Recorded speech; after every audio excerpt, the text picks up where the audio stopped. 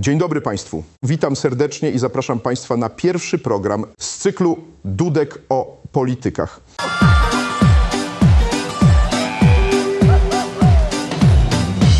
Zacznę od krótkiej informacji, że sponsorem tego programu jest kanał rozrywkowy Fu Podsłuchane Rozmowy. I to na tym kanale właśnie publikujemy ten materiał filmowy. A bohaterem tego pierwszego odcinka będzie nie kto inny, jak pan poseł Antoni Macierewicz. Jest to postać najbardziej szczególna w całym panteonie polskich polityków, szczególnie w kontekście otajnionych ostatnio dokumentów badaczy z Instytutu Historii oraz Instytutu Fizyki Uniwersytetu imienia Adama Mickiewicza w Poznaniu, a które znamy dzięki nowemu, sensacyjnemu, odtajnionemu archiwum IPN.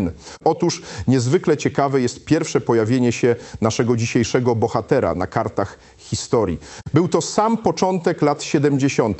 I tu zdziwię Państwa, bo pierwsze wzmianki o naszym przyszłym ministrze obrony narodowej pojawiają się w kontekście doniesień o UFO w okolicy miejscowości Wylatowo. Mieszkańcy mieli spotkać naocznie i osobiście istotę pozaziemską z gatunku Corvax, a pochodzącą z planety Melobax, która była w swojej istocie czymś pośrednim swoim wyglądem pomiędzy świnią a człowiekiem. Jednak szybko okazało się, że osobnik posiada również silne zdolności upodabniania się, przez co szybko zyskał zewnętrzną formę praktycznie nieodróżnialną od ludzkiej. Ale posłuchajmy naocznych świadków tamtych wydarzeń, bo mamy taką możliwość dzięki odtajnionym archiwom państwowym. A on szybko jako i my wyglądać zaczął. My go wołali. I on przyłaził i gadał. I to ja, on to godał. Gęba mu się nie zamykała. Łopowiadał on nam niestworzone rzeczy. Oj, panie, tylko jedno go różnić różniło, bo był on jedzenie, wpychał sobie tam, gdzie my zwykleśmy go nie wpychali. A co gorsze, on trafił na odwrót chyba. Bo tam, gdzie powinien był żarcie być wpychać, to on był tam. No wiecie sami.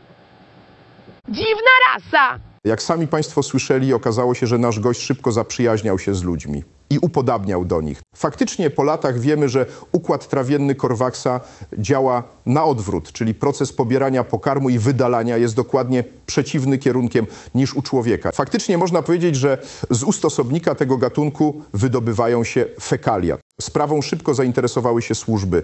Wiemy, że istotę bardzo dokładnie przebadano. I tu jednocześnie miał miejsce jakiś podejrzany dziwny handel. Państwo z pewnością od razu zapytacie, jaki? To jest trudno ustalić, bo nie zachowały się żadne choćby opisy, a już tym bardziej dokumenty. No ale wiemy jedno, że w zamian za przekazanie pewnych technologii władzom PRL wyrażono tajną zgodę dla zaistnienia nowego obywatela, któremu nadano tożsamość Antoni Macierewicz. Jak to określa treść dokumentu? Wydano oficjalną zgodę tajną na działalność w charakterze człowieka komunistycznego dla istoty pozaziemskiej sklasyfikowanej jako Korvax. Jako miejsce pochodzenia zachowany dokument rejestrowy podaje planetę Melobax. I tak właśnie mamy zachowany materiał filmowy prezentujący opinię lekarską wydaną na zlecenie Służby Bezpieczeństwa oraz ZOMO.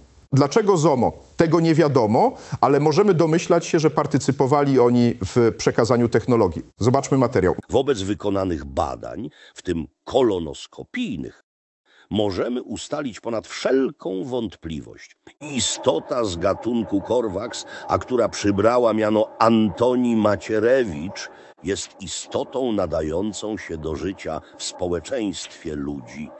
Nie stwierdzamy różnic anatomicznych w funkcjonowaniu fizjologicznym pacjenta, z wyłączeniem układu pokarmowego, który działa w sposób podobny, ale odwrotny, wektorem do ludzkiego. Fakt, iż z ust badanego wydobywają się odchody, predystynuje go do zawodów politycznych, które jako lekarze zalecamy mu do wykonywania. Jak wiemy, zgodnie z zaleceniem lekarzy, dokładnie taką drogę obrał e, nowy obywatel Antoni Macierewicz. Proszę zwrócić uwagę, że to też bardzo wiele tłumaczy. Przekazane wówczas przez przybysza e, technologie zaowocowały rozwojem naszego kraju w skali nienotowanej od początków jego istnienia jako państwowości. Poziom rozwoju naszego kraju przypomina poziom rozwoju Korei Południowej, a przecież nie produkujemy samochodów i smartfonów dla całego świata. I tajemnicą naszego sukcesu okazują się być pozaziemskie technologie ze statku kosmicznego Antoniego Macierewicza. A jednocześnie z dobrze poinformowanego, ale anonimowego źródła wiem, że warunkiem Antoniego było właśnie uczestnictwo w życiu publicznym i politycznym. I to też w dużej mierze tłumaczy niesamowity fenomen zaistnienia pana Antoniego Macierewicza. Ale o tym, o czym chcę w tym miejscu powiedzieć, mówi doskonale nagranie tajnego agenta Służby Bezpieczeństwa, który na nagraniu filmowym podsumowuje swoją opinię o przydatności swojego odkrycia. Obywatel Antoni Macierewicz, jak udało nam się ustalić, jest istotą pozaziemską z gatunku korwak. Pochodzi z planety Melobag. Dzięki doskonałej dyplomacji oraz zdolnościom negocjacyjnym służb udało nam się wynegocjować tajne porozumienie. W zamian za przekazanie Uniwersytetowi imienia Adama Mickiewicza w Poznaniu statku wraz z wyposażeniem nadajemy istocie Korwaks pełne prawo do udziału w życiu politycznym naszego kraju. Zobowiązujemy się do roztaczania nad Antonim parasola ochronnego służb wywiadowczych. Jednocześnie uważamy, że dwa fakty przemawiają za pozytywną waluacją takiej wymiany. Punkt pierwszy. Antoni Macierewicz prezentuje kosmiczne poglądy, które mogą rzutować na zajęcie przez nas alternatywnego stanowiska myślowego w perspektywie kosmicznej. W sensie politycznym oczywiście. Punkt drugi. Antoni Macierewicz ma układ trawienny działający w sposób odwrócony, co sprawia, że to, co wydobywa się z jego ust, czyni z niego prawnego polityka, demagoga oraz idiotę, co może ułatwiać nam sprawowanie nad nim kontroli i interesowanie go prostymi czynnościami, jak wybuchy puszek czy gotowanie parówek. Jak sami Państwo widzicie, to właśnie Antoni Macierewicz nie tylko w pośredni, ale w sposób zasadniczy przyczynił się do sukcesu gospodarczego i do rozwoju Polski pod koniec XX i w XXI wieku.